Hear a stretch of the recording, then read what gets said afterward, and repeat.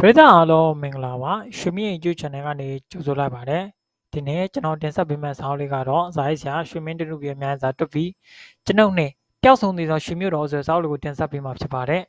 ဆောင်းလေးကိုမတင်ဆက်ခင်မှာကျွန်တော်တို့ရဲ့ YouTube Channel လေးကို Like and Subscribe နှိပ်သွားပေးကြပါတော့တောင်းဆိုချင်ပါတယ်လာရအပိတဲ့ပရိသတ်အားလုံးကိုကျေးဇူးတင်ပါတယ်ဖဖဟာတောင်တန်းဒေသကတာနာပြုဖုံးတော်ကြီးတစ်ပါးပါတခါတော့တင်ပါ ဖုံဖုံသတင်းသုံးနေတဲ့နေရာဟာမြန်မာပြည်မြောက်ပြားဝေးလံတီခေါင်းတဲ့တောင်တွေရဲ့အလယ်ကတိုင်းရင်းသားရွာကလေးတွေမှာပါသူတို့ရိုးရာဘာသာကိုကိုးကွယ်နေတဲ့တိုင်းရင်းသားတွေထဲကဗုဒ္ဓဘာသာကိုယုံကြည်သက်ဝင်ကြတဲ့လူတွေအတွက်သာသာသနာပြုဖို့ဖုန်ကြီးရောက်နေတာပါကွယ်ခုဆိုအဲ့ဒီမှာဖုန်ကြီးသတင်းသုံးခဲ့တာ10နှစ်နီးပါးကြာမြင့်ခဲ့ပါပေါ့ဖုန်ကြီးတို့နေတဲ့ရွာကလေးကတိုင်းရင်းသားတွေဟာရိုးသားတဲ့အေးဆေးတဲ့ဒါပေမဲ့ အဲ့ဒီတော်ကြီးမြက်မြဲထဲမှာပဲ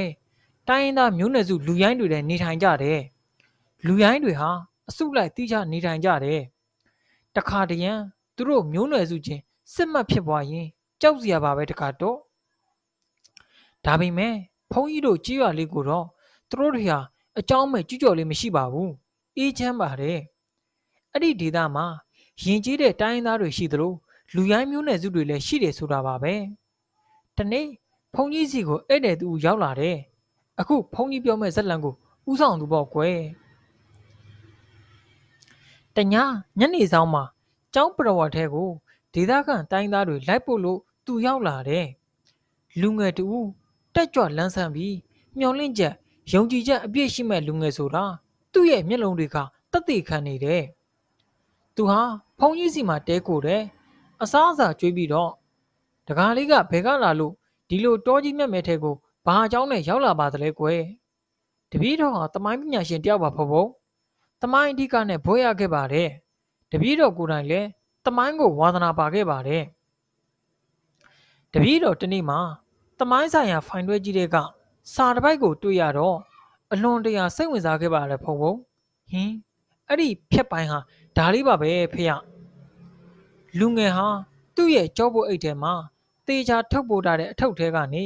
ဖြတ်ပိုင်းလေးတစ်ခုကိုထုတ်ပေးတယ်။စာရွက်လေးဟာနှစ်ကာလများစွာကိုဖြတ်တန်းခဲ့ရပြီဖြစ်ကြောင်းနီကျင်ဝါယောစာကတက်တည်ခံနေတယ်။ရည်ရော်နေတဲ့စာရွက်ပေါ်ကစာလုံးတွေဟာလှပသေးသက်နေပြီးဖတ်လို့ရနေပါသေးတယ်။ထူဆန်အံ့ဖွယ်ရာရွှေမြတော်ကြီးကိုမြောက်ဖျားကတောနေစက်မှာကျွန်ုပ်တွေ့ရှိခဲ့ပြီ။ဒဏ္ဍာရီထဲမှာသာရှိမယ်လို့လူကြီးသူမတွေတဖွာဖွာပြောခဲ့တဲ့ ရွှေမြို့တော်ကြီးကိုကျွန်တော်စွန့်စွန့်စားစားတွားရောက်ရှာဖွေတွေ့ရှိခဲ့ပါပြီ။ရွှေမြို့တော်ကြီးဟာကျိုးကြေပျက်စီးနေပေမဲ့ထူးဆန်းတဲ့ရှစ်လက်ရတွေက အခန့်အထည်ကြန့်ရှိနေသေးပါပဲ။ဟာတက်စီဆိုလို့တရိษံတွေသာဝင်ရောက်ကြက်စားနေကြပါတယ်။လူတော်ဝါမရှိပါ။ရင်းရွှေမြို့တော်ကြီးနဲ့ပျောက်ဆုံးနေသောတမိုင်းကွင်းဆက်ကို ပြန်လည်ဆက်ကြပါစို့။ရင်းတမိုင်းကွင်းဆက်ကို ပြန်လည်ဖော်ထုတ်ရာတွင် ကိုယ်တိုင်မျက်မြင်ကြုံတွေ့ခဲ့ရသူကျွန်တော်ပါဝင်နိုင်မည်မဟုတ်တော့ပါကျမ်းသားတော့ရာသီဥတုတံဒိုင်ယာအနာတရတို့ဖြင့်မကြမ်းမမာဖြစ်နေသောကျွန်ုပ်သည်ယခုအခါလန်ခီမှာ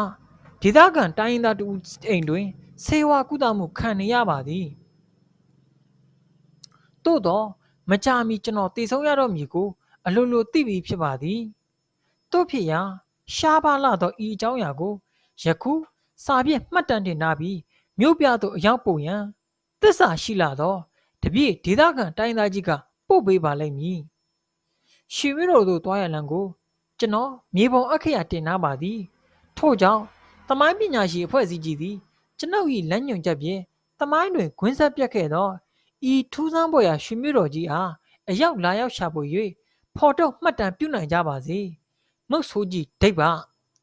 သူ့ရဲ့မြေပုံအညွှန်းကိုလည်းဖုန်ကြီးတွေ့ရတယ်။ မြေပုံအညွှန်းရဆိုရင်ခရီးဟာကြောက်စရာကောင်းလောက်အောင်ခက်တန်ကြမ်းတမ်းပြီးတော့အနရဲ့အတွက်တွေထူပြောလွန်းလာတယ်။ရာသီဥတုတန်ကြမ်းတမ်းသလိုတာရဲတရိษံတွေလည်းပေါ်များတယ်။လူစိမ့်ဆိုရင်ရံမှုပြီးအစဖြောက်ပစ်တတ်တဲ့ဒေသခံလူရိုင်းမျိုးနယ်စုတွေကြီးစိုးရနေမည်ဖြစ်တယ်။ဖုန်ကြီးဟာအဲ့ဒီမှာနေတာကြာပြီဆိုတော့လူရိုင်းတွေရဲ့ရက်ဆက်ကြမ်းကြုတ်မှုတွေကိုသိနေပြီ။ဒါကြောင့်အဲ့ဒီတမိုင်းသူတွေဒီလူငယ်ကိုပျောက်ဆုံးနေတဲ့ရွှေမြတော်ကြီးစီမသွားဘူး ဖုံးတော်ကြီးကတားခဲ့ပါတယ်ဒါပေမဲ့လူငယ်ဟာအင်မတန်မှပဲဆန္ဒပြင်းပြနေတယ်နောက်ဆုံးဖုန်ကြီးပဲအလျှော့ပေးခဲ့ရပါတယ်တပည့်တော်အယိုးကြည်ကြည်အကြီးခန့်ခန့်အသက်ကိုဗနာနာမထားပဲစွန့်သွားဖို့ဆုံးဖြတ်ပြီးပါပြီဖေယတငယ်လေးထွက်သွားကနီးမှာဖုန်ကြီးကဖုန်ကြီးမွေးမြူလေ့ကျင့်ထားတဲ့စာပုတ်ခိုတွေထဲကခို၁၂ကောင်ကိုပေးလိုက်တယ်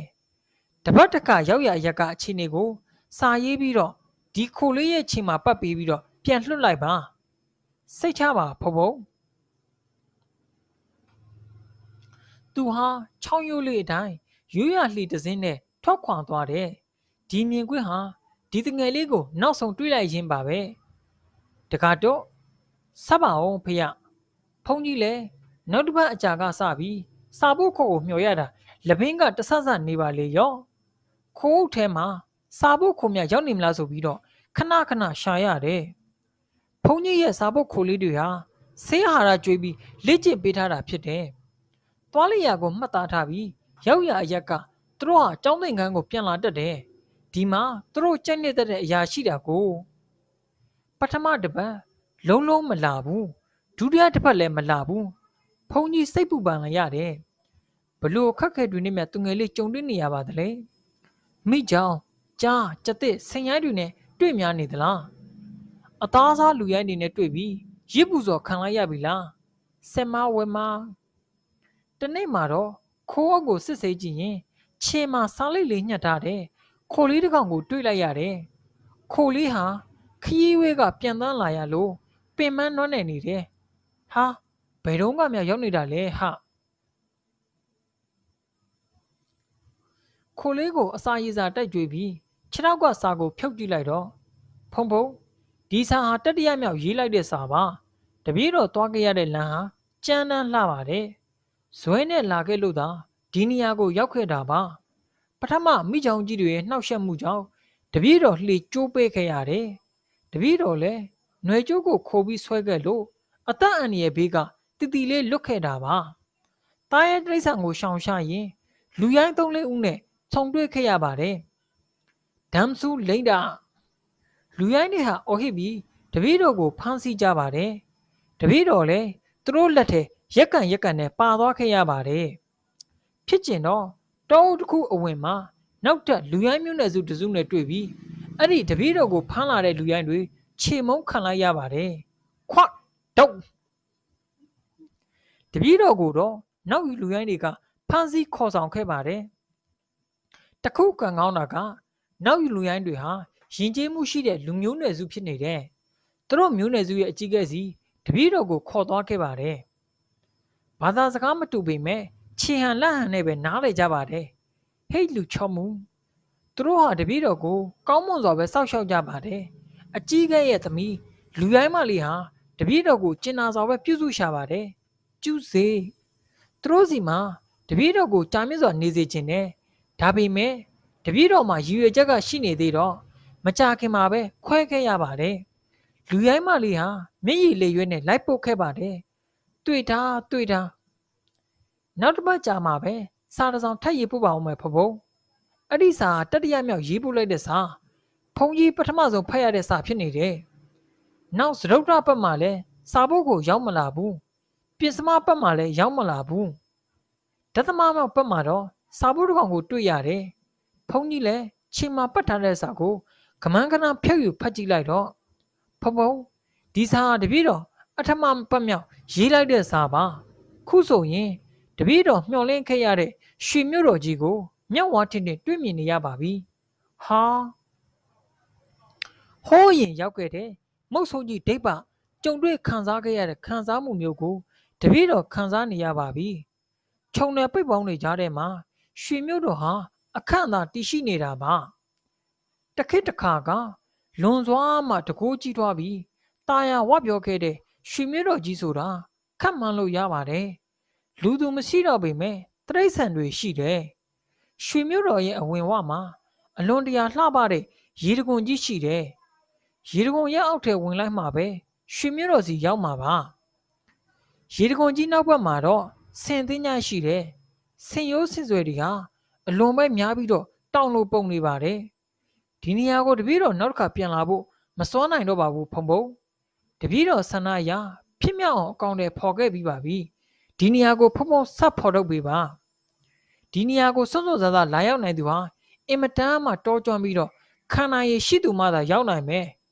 ခန္ဓာရည်ရှိတယ်တောမကျွမ်းဘူးတောကျွမ်းတဲ့ခန္ဓာရည်မရှိဘူးကြောက်တယ်ဒါကြောင့်မြမပြည်တလောမှာ ဖိတ်ဖိတ်တော်အောင်ကြော်ကြားနေတဲ့ကြုံတိုင်းရော်ကမုတ်ဆိုးကြီးမြန်စာတွပီကိုဖုံဖုံဆက်သွယ်ပါပျောက်ဆုံးနေတဲ့ရွှေမြတော်ကြီးကိုဖော်ထုတ်ဖို့ရာမြန်ရစာဥဒပီဆက်လက်စွမ်းဆောင်ပါလိမ့်မယ်နှုတ်ဆက်ခဲ့ပါတယ်ဖုံဖုံဗျာတပည့်တော်စောညွတ်ဆွေအဲ့ဒါပါပဲတခါတော့ဖုန်ကြီးလည်းတခါတော့ရှိရာကိုစုံစမ်းပြီးတော့ကြွားရောက်လာရခြင်းဖြစ်ပါတယ်ဖုန်ကြီးကစကားရှိကြီးကိုတောက်လျှောက်မြက်ကြားခဲ့ရသဖြင့်မောလျက်သွားသည် လွန်စွာမှထူးဆန်းပါပေတဲ့ဖဖုံဗျာကျွန်ုပ်တို့ကထိုနေ့မှစ၍ပျောက်ဆုံးနေသောရွှေမြို့တော်ကြီးအားစားလက်ဒီစိတ်အိတ်လက်ဒီစိတ်ဖြစ်ကြတော့သည်ရွှေမြို့တော်ကြီးအဲဟုတ်ပေါင်းမြင့်ရေးအမ်တပည့်တော်မဖြစ်ဖြစ်တဲ့နီးနဲ့အရောက်လာခဲ့ပါမယ်သို့တော့တပည့်တော်မှာကိုစမ်းညွန်စားရှိတော်လဲငွေအားကမတက်နိုင်ပါယခုကိစ္စမှာအထမ်းသမားများပါငှားယူသွားရမည်ဖြစ်၍ငွေကြေးမတက်နိုင်ပါ မြို့ရမှာသထေးတယောက်နဲ့ဆက်သွယ်၍သူကူညီပြီဆိုပါကတပည့်တော်တို့ဖဖုံကြီးကျောင်းသင်ငန်းတို့ပထမဆုံးရောက်လာပါပြီဖယားအေးကောင်းပါပြီတဲ့တကားဖဖုံကသူတရင်တော့ရတိုင်းရင်းသားများ၏ဒေသသို့ပြန်လဲကြွချီသွားခဲ့လေပြီကြံသည့်ရချုပ်ကိုကျွန်ုပ်သည်ရိုးမတော်တဲ့ဝင် အမဲပြည့်ရင်ကုံလွန်ခဲ့သည်ရွှေမြို့တော်ကြီးစီတွားရန်ငွေကြေးအဖြစ် ကူညီထောက်ပံ့မိသူကိုသာစဉ်းစားနေမိသည်အဲတခုစဉ်းစားမိဟဲ့ဘာကိုလဲပြေးရဖို့ကိုလား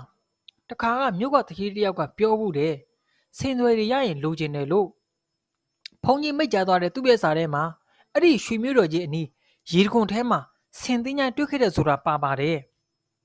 အဲ့ဒီဆင်သွယ်တွေရမယ်ဆိုရင်တထေးကငွေထောက်ပံ့ပြီးမယ်သူ့လိပ်စာကိုပြန်ရှာရအောင်မယ်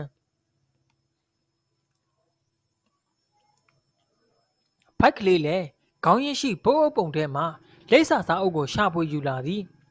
ဘုတ်အုပ်ကိုလှန်လောကြည့်ရာတွေ့ပြီဒီမှာဥပတူအမှတ်339ဝင်းနာမီယာရန်ကုန်မြို့อืมသူကအပျော်တမ်းမဟုတ်ဆိုလဲဖြစ်နေတော့အဆင်ပြေကောင်းပါရဲ့အလံကွာတာဘာတူလဲဟေ့ဆက်လန်ချင်းချောက်ရမယ်ဆိုတော့မြို့ပြန်မိចောင်းဆရာလေးကိုကြည့်နိုင်နဲ့စာလူကြုံပါလိုက်သည်တပတ်မြအချာကျွန်ုပ်တို့စီတို့ မြို့မှစားတစောင်ရောက်လာသည်ဥတ္တပီစားဖို့စာပြုတ်မဟာစာဥတ္တပီခမလူကြုံပါလိုက်သောစာကို ကောင်းမွန်စွာလက်ခံရရှိပါတယ်အလွန်တရာကိုဝမ်းမြောက်ဝမ်းသာလက်ခံပါတယ်ဆင်ဆွဲတွေရမယ်ရှေ့အောင်ရွှေမြို့တော်ကြီးကို ပြန်လည်ဖော်ထုတ်ရမယ်ဆိုတာကိုလွန်စွာမှစိတ်ဝင်စားမိပါတယ်ကုန်ကြမိငွေကြေးများကိုကျွန်ုပ်ထောက်ပံ့ပါမည်မကြာခင်ရက်ပိုင်းတွင်မှခရီးစားတွင်ထွက်ခွာဖို့ဥတပီတို့၏ကြုံနှန်းရွာကို ကျွန်ုပ်လာရောက်ပါမည်အကြောင်းလေးနက်စွာအကြောင်းပြန်ကြားအပ်ပါတယ်ခမညာကိုစိတ်နှဖျားကျမ်းမာရှင်လန်းပါစေသောဘတူ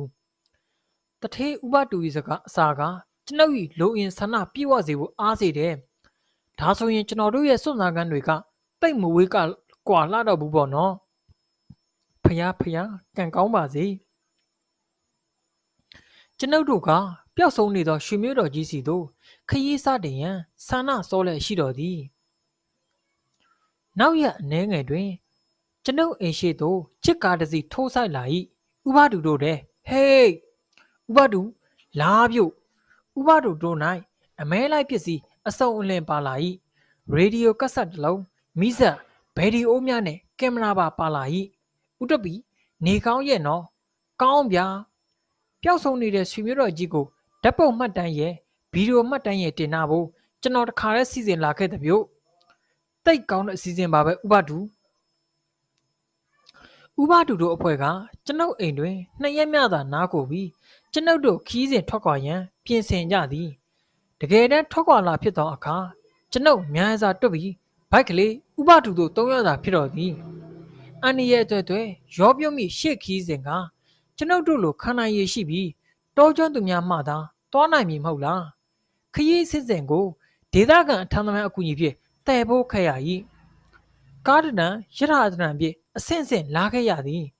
တပတ်မြခရီးပြင်းနှင်လာခဲ့ကြပြီးတော့ကျွန်ုပ်တို့သည်ကျွန်ုပ်စီကြွရောက်ခဲ့သောဖုံးတော်ကြီးသတင်းသုံးရအနီးဆုံးမြို့သို့ရောက်လာခဲ့ကြပြီတော့သည်ကြည်လေရရာတွင်တိုးတော်များကိုမြင်ရ၏လူများမှလည်းတိုင်းရင်းသားများသာစကားများမှလည်းကျွန်ုပ်တို့နားမလဲထမင်းဆိုင်ဒီဇိုင်တွင် အခချင်းငွေပေးပြီး တဲခိုခဲ့သည် အေးမြသောရာသီဥတုတံကို ခံကြရသည်နှင်းမြကနနက်ပိုင်းတွင် ပိုထူထပ်လာ၏အပင်ချွတ်ချွတ်မြကထိုရက်တွင်ပေါ်သည်ငားရက်ဈေးနှင့်ရောက်သောအခါတောတွင်နှင့်သုံးဆွဲရန်ပစ္စည်းများကိုဝယ်ရ၏အများအားဖြင့်မိဖို့ကြောင့်သောငရုတ်သည်ကြက်သွန်ဆန်စီစငံပြရည်တို့သာဖြစ်သည်ဒေသခံလမ်းပြတယောက်ကိုငှားယူရ၏နောက်ရက်တွင် ကျွန်ုပ်တို့သည်ဖုံးတော်ကြီးသတင်းသုံးရာကြေးရွာလေးသို့ခရီးစတင်ထွက်ခွာခဲ့တော်သည်အထမ်းသမားများငှား၍အထောက်များထမ်းယူစေခဲ့သည်ဝန်လူကြေးရွာသို့ရောက်ရန်ပင်ရက်တပတ်များတွားရ၏ခရီးကကျန်းနန်းလာသည်တောတော်များကိုဖျက်ကျော်ရ၏ကျွန်ုပ်တို့ကလမ်းတွင်တွေ့သောအမဲကောင်များကိုပြစ်ခတ်ကြ၏ဒိန်လွဲပြမိဟာထုံးစံတိုင်းပေါ်ဆက်တို့ရဲ့ဒိန်ဟာထိပ်ပဲ ကတုံးပြစ်တာမှတ်လို့မရှောင်နေတာတမင်သားပြေထုံနဲ့ထမင်းစားကြသည်အထမ်းသမားများကအသားလှလိုက်စားရတဲ့ပြေပျော်ရွှင်မဆုံးကြချေဟိုးရှိကရွာလေးပဲဆက်တော့တောင်ကြားလေးထဲတွင်မိခိုးဦးကိုတွေ့နေရ၏တေချာကြည့်လင်တဲစုစုကိုမြင်နိုင်ပါသည်ကျွန်ုပ်တို့ကထိုနေရာကိုရောက်ရင်နေဝက်မြခရီးပြင်းနှင်ခဲ့ရသည်ကျွန်ုပ်တို့ ရွာတွင်ဝင်လာတော့မြင်သူတို့ကအုပ်အတောင်းနေဖြစ်ကုန်ကြ၏ကျုံပါဤကျုံပါဤဟာလိမ့်စုလိမ့်စုတဆင့်စကားတဆင့်နာဖြင့်ရွာလုံးကျကျွန်ုပ်တို့ကိုထွက်ကြည့်ကြ၏တိုင်းသားတို့၏မျက်နှာမူရာကရိုးသားအေးဆေးသူများဖြစ်ကြောင်းတတ်သိခံနေသည်ကျွန်ုပ်တို့ဖွဲ့နှင်ပါလာသောထမ်းသမားများနှင့်စကားရက်ချင်းတူသဖြင့်အခက်ခဲမရှိ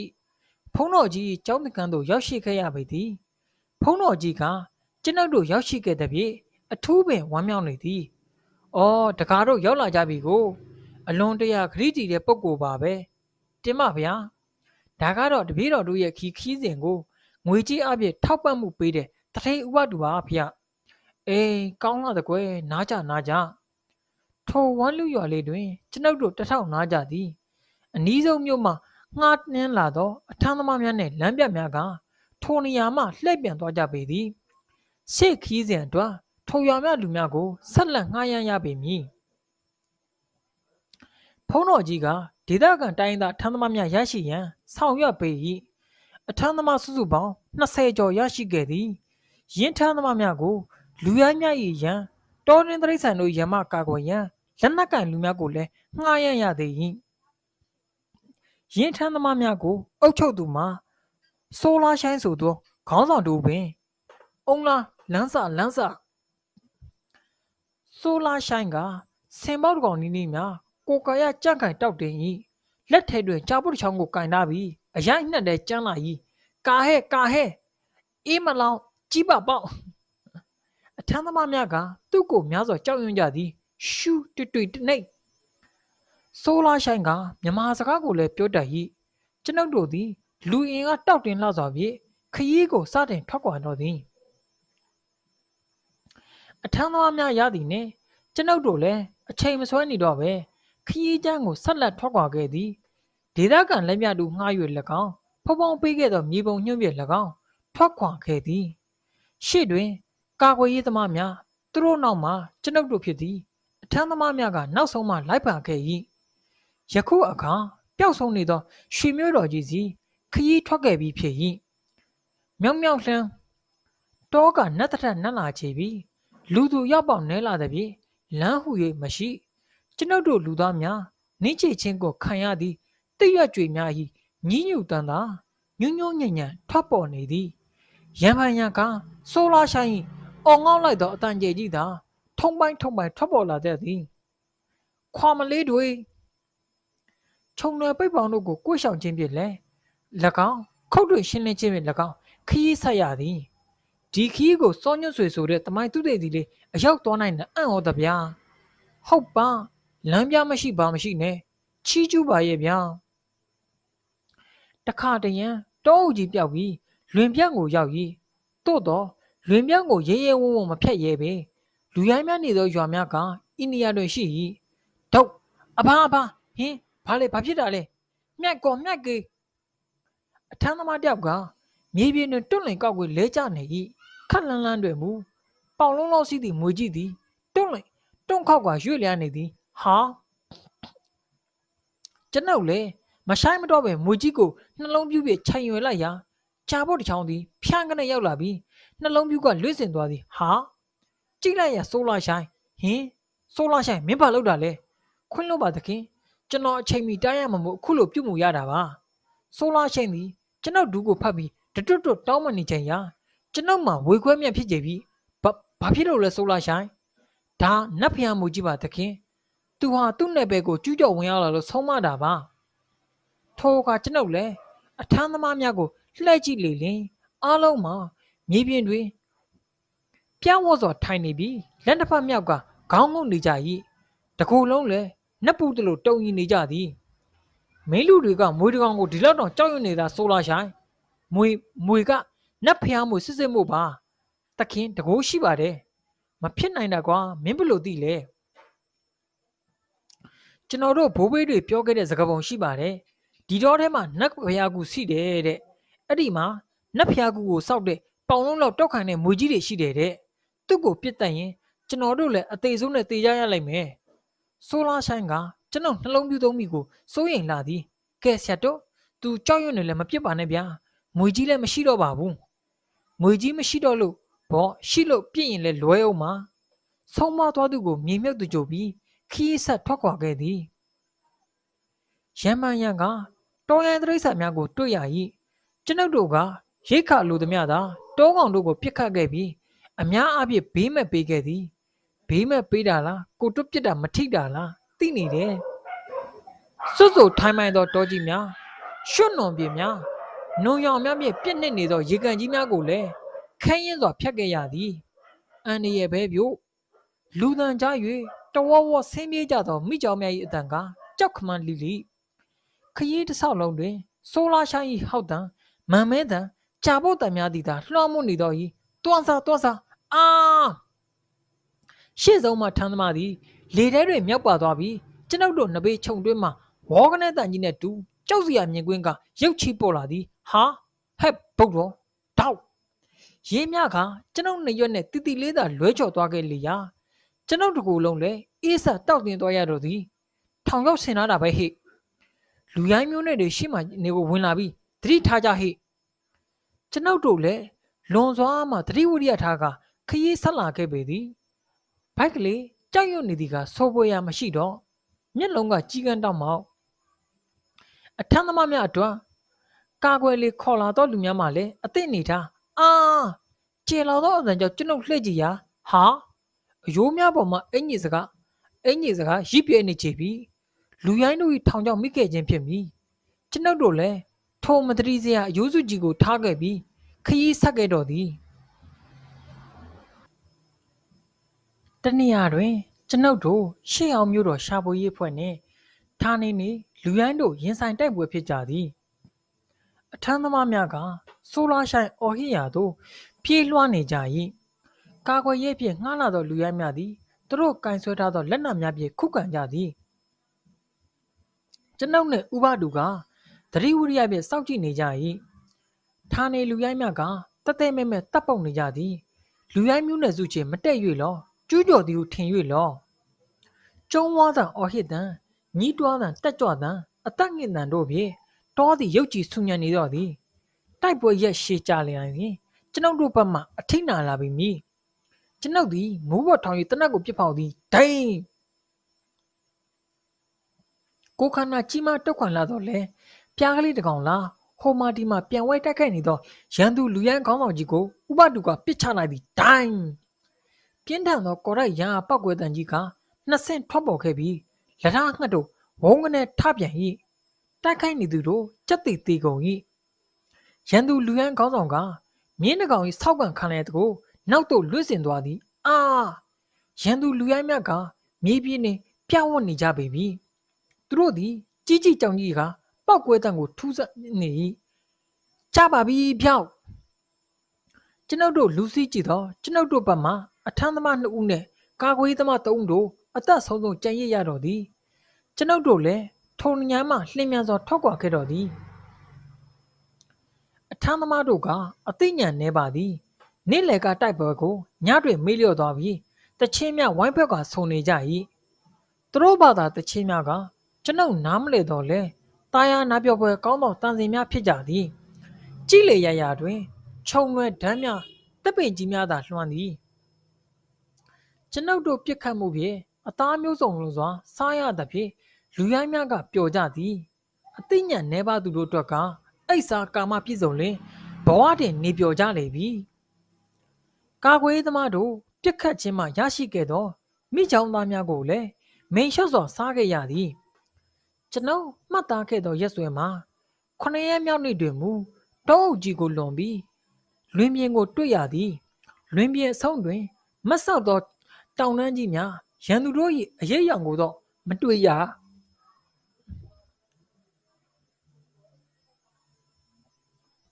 သို့တော့တတိဝိရိယဖြင့်ကျွန်ုပ်တို့ဖြတ်တန်းခဲ့ရသည်ရင်းတောင်ကျသို့ရောက်အောင်နေဝက်ခီးဖြတ်ခဲ့ရသည် ရောက်လင် စားတော့ရန်ပြင်ဆင်၏ချက်ပြုတ်ပြီးစားတော့နေစီမှာပင်ဝုံဝုံဝုံတောင်ပေါ်မှကြောက်တုံများကြားလာသည်ကိုတွေ့ရပြီးထိမှန်ခံရသောလူများကအယိုးများကျိုးတေကုန်ကြပြီးပြေးကြဟဲ့အပေါ်ကကြောက်တုံနေနဲ့တိုက်ခိုက်ကုန်ပြီခန္ဓာကိုယ်လွန်စွာမှကြီးမားလာသောလူများသည် တောင်ပေါ်မှနေ၍ကြောက်တုံများဖြင့်ပြစ်ခတ်၏ကျွန်ုပ်တို့က ဘေးလွတ်ရာသို့အပြေးလွှပုံအောင်ရရ၏ဥပဒုံနဲ့ကျွန်ုပ်၏နှလုံးပြူးမှကြည်စံမြတ်ကထွက်သွားကြပါပြီဒိုင်းရန်သူများသည်တောင်ပေါ်မှပြုတ်ကျလာသည်အကြမှပြင်းထန်လာရကမြေကြီးများပြင်တုန်ခါ၏ဟိုက်ဒါလူမမဟုတ်ပဲလူဝန်တွေဟာလူဝန်တွေကကြောက်တုံနဲ့တိုက်ခတ်နေတာကိုဟုတ်တယ်မျိုး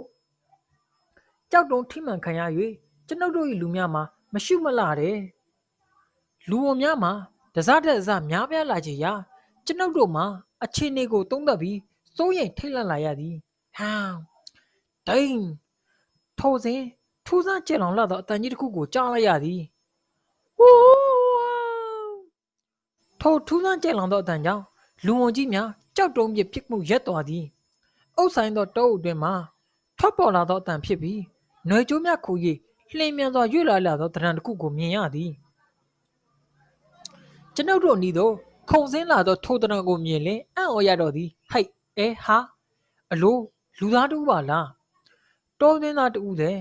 နတ်မောင်ထူပြောသောမျက်ခုံအောက်မှကြည်လင်သောမျက်ဝန်းအစုံသည်အကြောက်ရွံ့ကင်းမဲ့စွာဖြင့်ကျွန်ုပ်တို့လူစုကိုစူးစမ်းနေသည်တောထဲနှင့်တွေ့ရ၍ကျွန်ုပ်တို့အဖွဲ့မှအံ့ဩနေမိ၏ဗီဒီယိုထဲကတာဇန်လိုပဲအိုးတိုးနှင်းသားလေးကို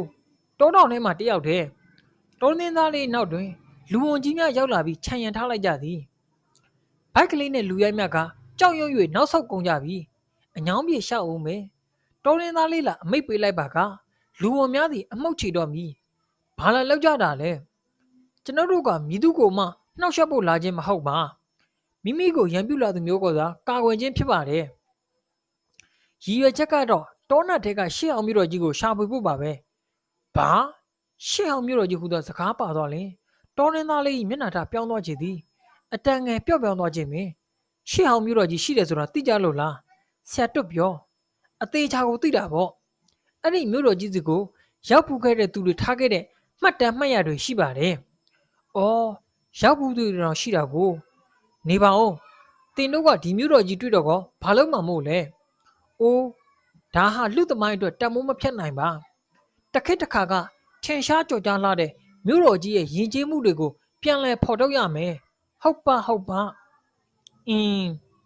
တင်တို့ရည်ရွယ်ချက်ကတော့ကောင်းပါတယ်။ဒါပေမဲ့ရှေ့ဟောက်မြို့တော်ကြီးစီသွားဖို့ခီးတန်းတန်းကကြမ်းတမ်းလှသဗျာ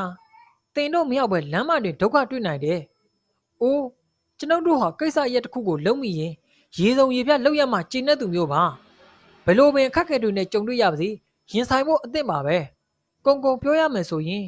ဒီတောထဲမှာအသက်ဆုံးရင်ဆုံးရစွန့်မွန်ပါတယ်တောရင်းသားလေးကရွှေမြို့တော်ကြီးစီကိုရောက်ပူတဲ့ထင်ပါတောရင်းသားလေးကဘိုက်ကလေးကိုငေးကြည့်နေမိ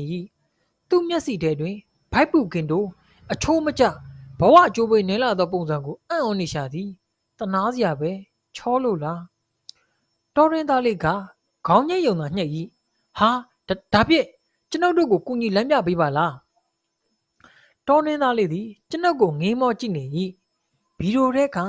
နိုင်ငံခြားရုပ်ရှင်ကရုံးမင်းသားယူဘရိုင်းနာထပ်ပင်ဥပရိယုတ်ကောင်းလာသောကျွန်ုပ်ကိုကြည့်ပြီးထူးဆန်းအံ့ဩနေပုံသည်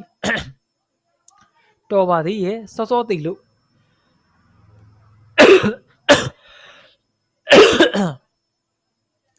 အင်းလေကျွန်ုပ်ကူညီပါမယ်ဟေးကျွန်ုပ်ဥပဒုနဲ့ဘိုက်ကလေးတို့၏ဝမ်းသာအားရအော်ဟစ်တန်ကြောင့်အထမ်းသမားတို့ပင်လမ်းဖြန်းကြ၏ ဆိုလာဆိုင်ကသူ့လူများကိုသူတို့ဘာသာစကားဖြင့်သတင်းပေးလိုက်၏သူတို့လည်းဝမ်းသာအားရပင်အော်ဟစ်ဩဘာပေးကြသည်လမ်းမမလည်းသူတို့အထမ်းရတတ်တာမီမဟုတ်လားတခုတော့ရှိတယ်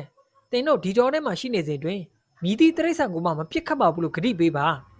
ဟိုရိတ်ခါအတွက်ဘာရိတ်ခါအတွက်လဲအဲရိတ်ခါအတွက်ကတက်တီတက်ဥတွေစားဖို့ကြောက်လက်ဒါပဲစားတာပဲငတ်ပြီဟိုကြားရကြသူများတက်တက်စားတယ် ကြားကတက်တက်လွတ်စားတယ်ရှိလို့လားအိုးဟိုကတရိษံပဲတင်ကတရိษံလားလူလားတရိษံဆိုသူများတက်တက်စားအံဖွယ်တူတာဟီလူပါခမလူပါစားပါမယ်တက်တက်လို့ရေးစည်းကန်းကိုကျွန်ုပ်အပါဝင်အထမ်းသမားများပါမကြိုက်ကြတော့လေရွှေမြို့တော်ကြီးစီလမ်းမမပဲရောက်ရှိရမှာသူ့အပေါ်မူတည်နေတဲ့ဖြင့်သူ့အကြိုက်လိုက်ရပေမည်ကျုပ်ကိုယ်တိုင်တော့မလိုက်ဘူးလမ်းပြပေးလိုက်မယ်ဒီနေ့တော့နေခဲ့ကြအောင်နှစ်ပြန်ခါကြမှာပြန်လာခဲ့မယ် တော်ရင်းသားလေးသည်ຫນွေကျိုးများဆင့်ကဲခိုးစီးသွားကပျောက်ကွယ်သွားတော့၏သူ့အဖို့လူဝန်များသည်လည်းတောအုပ်တွင်ဝဲအလှလိုပျောက်ကွယ်သွားတော့သည်